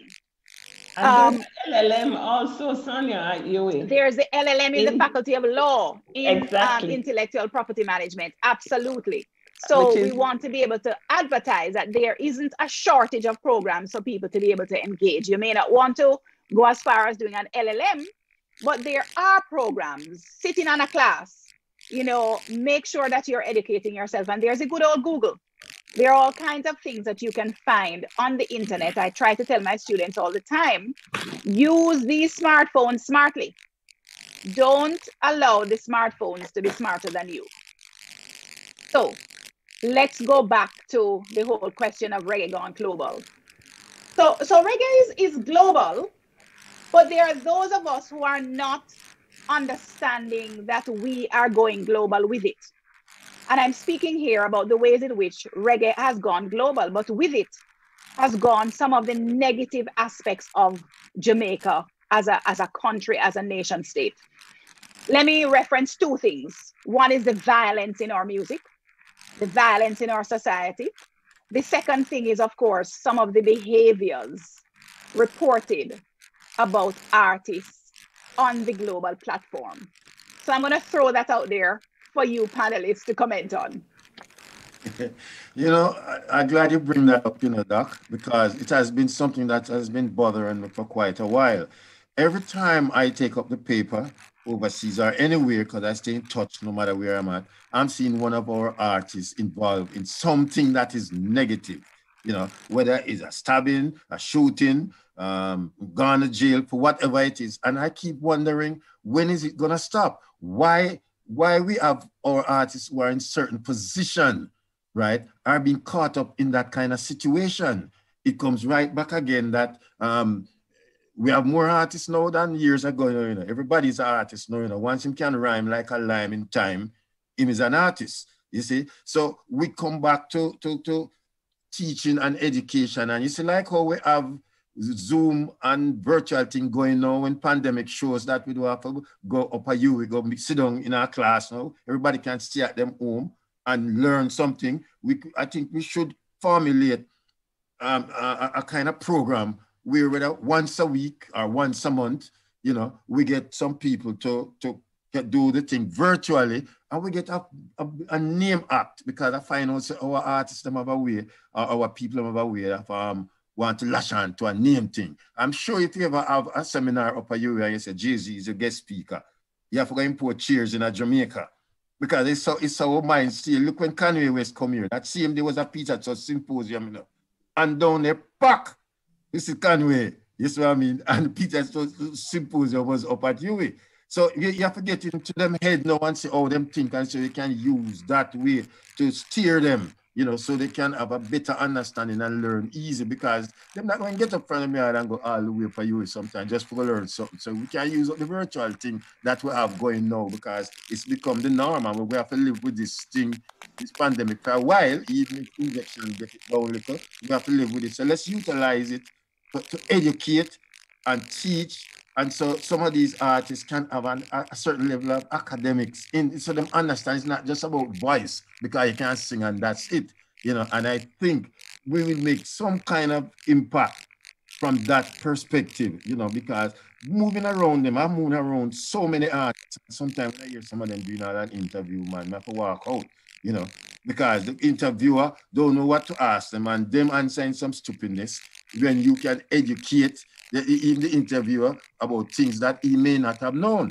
But when you go to Japan, them know about Leibniz, them know about Dennis Brown, them know about all that from way back. And some of our people right now don't really know anything about that. So let's see if we can find a way out to take it to them. I like how Lily come to you. You have to take it to them sometime. If you don't wait, if you wait for them to come, they're not going to come. Let's take it to them. Right. And I'm sure, you know, out of 100, we, we might get 75 that latch on to it and so it is one of the things I, I know we need to take to our people is also the value that must be placed in what it is we have created. You know, there are times when we have heard young people in Jamaica ascribe reggae to other countries. Mm-hmm. They don't know about the music. They don't know that Jamaica is the only country in the world to have given eight distinct genres of music. I will not stop saying it somebody needs to contest what I'm saying if they think that I'm wrong. And I go into schools myself, and I every time I use the opportunity to explain the embarrassment of riches that we have given the world in terms of music. So we also, it is incumbent upon us to learn about what it is we have given the world. Ibo mentioned it earlier. We need to be moving to replace guns with musical instruments we need to be building our music education programs and also making sure that every young person in Jamaica understands what it is that Jamaica has given the world. Ibo, I know you have a lot to say here because you serve on the JaRIA Education Committee. Quite the contrary, you know, I don't have a lot to say on this because I will have a very check. Is the internet still there? Yeah. Yes, we're hearing you we're well. hearing you. Oh, no, yeah. You know, so when the internet goes unstable, I get a warning on the screen. That's why. Yes. Um, no, I, I, I have a rather different view. It's not a perfect world. And this is not new. This is not new. Popular music, United States and Jamaica, Trinidad, I can name those, Brazil too, has been full of virile, young sexual energy for decades, ever since. Violence has always been a part of it from ever since. So we're loading it up now. Um, uh, but it's been there. What will happen is some of them will find their way to the churches, as you can see, and they have found Jesus and, you know, oh, I've turned my back on that life. They've seen that. Some of them will die and find their way to the graveyard, which we also will see. And the cream will rise to the top. So some artists will survive and be something that will be there for posterity. It's not anything we can control, honestly. Um, it's something that we can support the positive though. And I go back to the powers that be, the ones who have money to invest, because I want to warn them that what they consider negative in the industry has a lot of financial support. I don't want to say much more about that, but we know where that support is coming from, and it supports the malevolence. It picks out who to support among upcoming artists. It's not a fluke. It's not always the best talent that makes it. It's the ones who necessarily can go along with a particular lifestyle. Rather than criticize and punish, I challenge that we could also find some resources to fund those who are dealing with positiveness because this is on my website and I've raised funds to facilitate them. A youth leaves an area where he can get a gun this morning and comes to Edna Manley to be a bass player, I have been begging the society to support that youth. Not support Ibo, support the fact that that youth chose of his or her own volition not to be a criminal. That is worth supporting. But the struggles that we would have at that school to get a $30,000 drum set is not the same struggle that that youth would have to get a nine, which costs more than the drum set.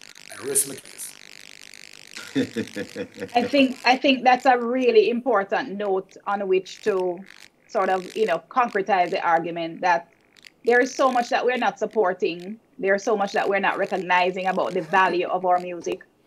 Um, the role of education really critical, um, and of course, we we we we need not mistake the fact that the business of music is 90% music, but also 90% business in the ways that um, Ibo has said. But the 90% business is so much um, about protection, about standards. The 90% of the music is about the quality. Make sure that it is of good quality for posterity. I know that there are some comments on YouTube, and I'm going to throw back to the studio to um, get those 30 comments. Seconds, 30 seconds, sorry. One has to be very careful about quality. I'm a, I'm, I'm a formally trained musician, and I try to stay away from quality arguments because quality is subjective, and it also depends on the culture. You get me? So you have to be very careful about. Oh, absolutely. But we're talking about timeless. Those things that can be timeless, and yes, it is subjective because what's timeless yesterday is not necessarily going to be timeless in another generation, but and, and appreciated in the same way. And, and music is that nostalgia. Um, you know, the nostalgic experience around music means that there's a difference in the appreciation across the generations. But there are still some some things that you can is- isolate about hits. So that's what we're talking about when we talk about quality. Throwing back to the studio for comments. Um, thank you, Sonjah. Um, the comments on YouTube are quite interesting. They're very, very interested in music education. Um, we've been hearing that you can actually go to the University of the West Indies and do courses, whether or not you're a full-time student. If you're a practitioner in the, in the industry, you can. I think the Edna Manley College offers the same kind of um, service to public if you, if you are a musician and want further training in music, um, more practical perhaps um, at the School of Music as well. Um, the question here, Sonjah, that I'd like for you to share, because perhaps you, you are actually the researcher. Someone is asking where to find books. I'm interested in, in reading more about the music and its history. What are some of the books that we, you would recommend, or where do we find books on music and on music business? So, very important question there. You know, for quite a long time, it's the people outside of Jamaica who are writing about Jamaican music, writing about reggae, writing about dancehall, but we have changed that. And I'm proud to say that I'm a part of the movement that changed that. People like Garth White, Carolyn Cooper, um, Dennis Howard, um, Donna Hope. There are so many of us who have contributed by way of books, articles, chapters, and so on. In fact, we just published at the University Press the dance hall Reader, which brings together a whole set of writings about from you know from the history of the music and so on. The business of music is documented in Dennis Howard's book um, on the echo chamber. And there are so many of us who are writing. That's why I'm t- trying to tell you follow us on social media. Follow me at Sonjah Stanley on Twitter, um, at Culture Doctor on Instagram. There's always something new to learn. I'm constantly sharing of my own work, those of my colleagues, those around the world who are writing and researching Jamaican music. Um, we have had a fantastic discussion. I am here as your servant, usually in matters of culture, here to um, bring us through Reggae Month in the ways that we have through this Open University. I want to thank our panelists, thank our technical team, um, thank our um, very own Colleen Douglas from the, the media circles and JaRIA and Edna Manley, and to say that it has been my pleasure being with you. Thank you to our listeners, our viewers on all the platforms. I throw back to the studio now. And we want to thank you, Sonjah, for we knew you would do this well. Um, thank you so much for being such a wonderful moderator. Um, we've been getting a lot of responses from all across the world, and we just want to acknowledge some of the spaces Mexico, South Africa, Ghana, um, France, Brazil, all of you have tuned in, even with time differences, you've stayed with us. We, we really appreciate that. You've actually stayed with us all month.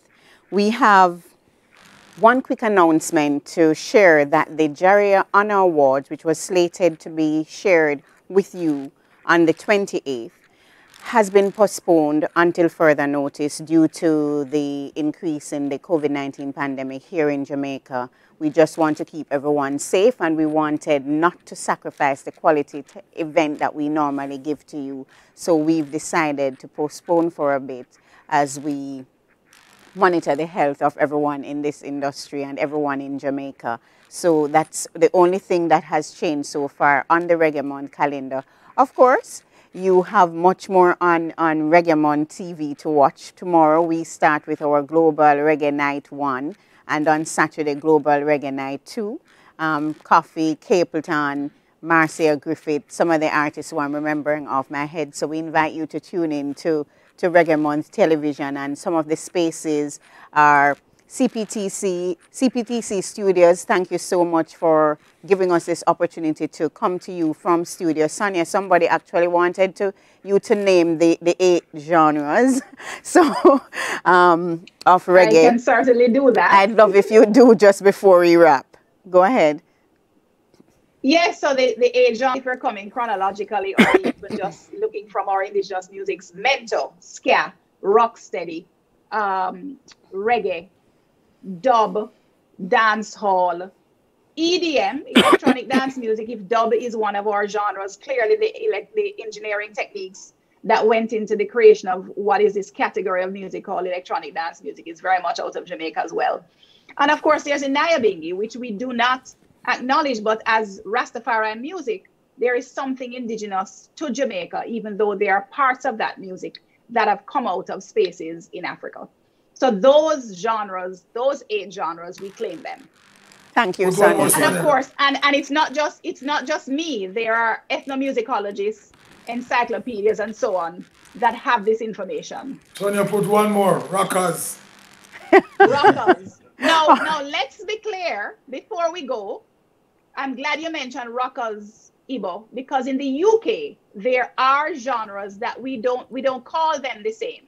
Lovers rock for example, there are genres of music that have been influenced by Jamaican music as well. So reggaeton, hip hop, Bhangra, Makossa, Afro beats, Um, there are so many of them. We could we could continue this conversation for, for, for the rest of the night talking about this. Yes, and, and, and it, it is important, it is important though, Ibo, that we continue the conversation and perhaps it's our opportunity to say to everyone that the Jamaica Reggae Industry Association is not a Reggae Month organization. We're a music industry organization and so we exist all year round. So there are want- numerous opportunity. Copeland, me can't take you because Lenny go kill me.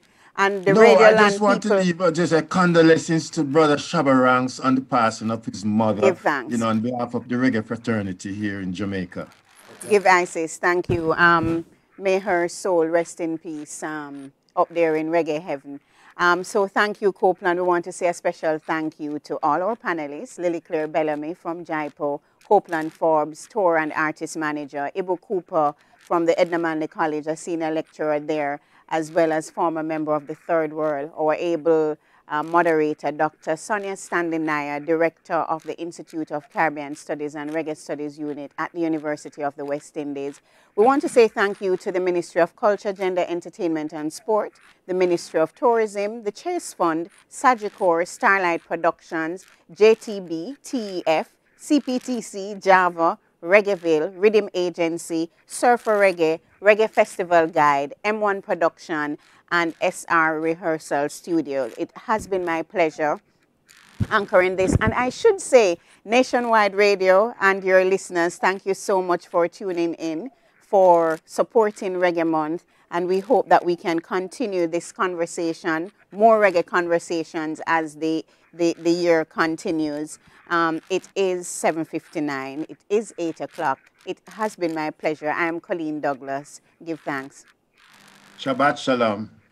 Penestilin.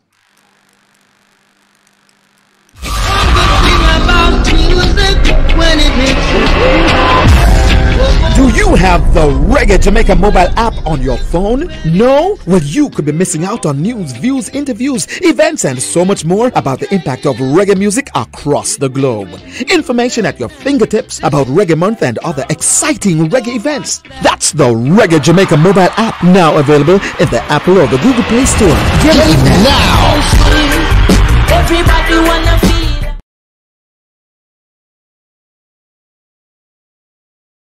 Since 2008, we have been building Reggae Month into the biggest global celebration of Jamaica's music. As Prime Minister, but more so as a Jamaican, I am proud of our reggae music and look forward to Reggae Month each February. The negative impacts of COVID 19 have denied us the pleasure of welcoming the peoples of the world to Jamaica for Reggae Month this year. But reggae music transcends all physical barriers. I send warm greetings to everyone tuned in to Reggae Month TV and social media platforms all over the world.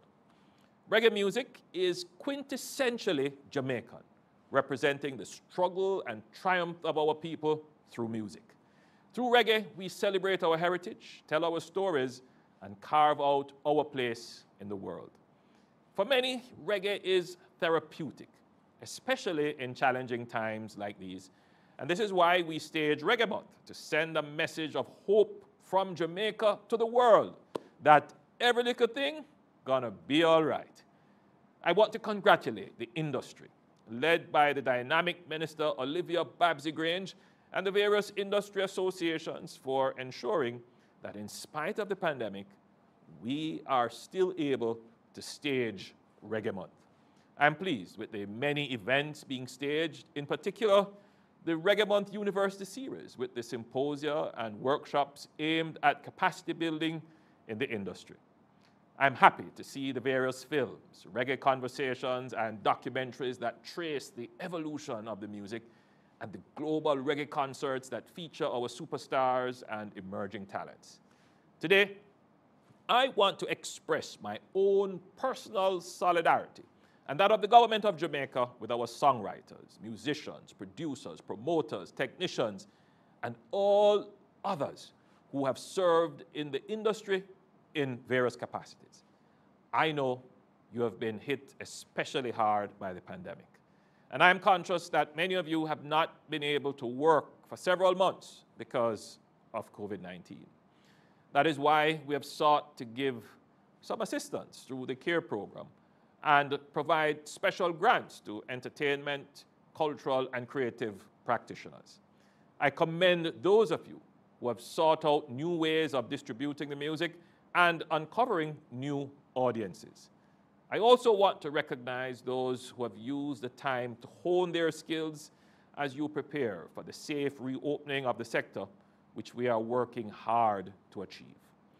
Your role is important in this regard to get the word out that it is important to observe the necessary protocols to keep us all safe as together we work to get the industry up and running again.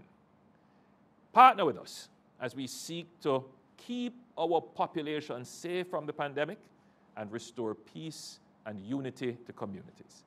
It has been proven throughout our history that when we unite all our energies for the collective good, we are assured of success. Let us rediscover reggae's power to transform individual lives and communities for the better.